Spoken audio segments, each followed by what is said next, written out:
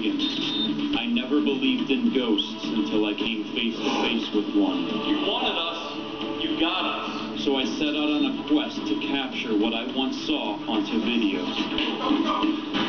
With no big camera crews following us around, I am joined only by my fellow investigator Nick Groff and our equipment tech Aaron Goodwin.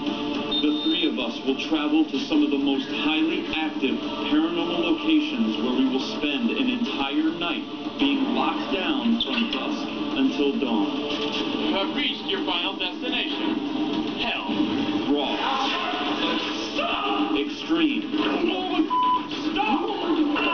Stop running! These are our ghost adventures.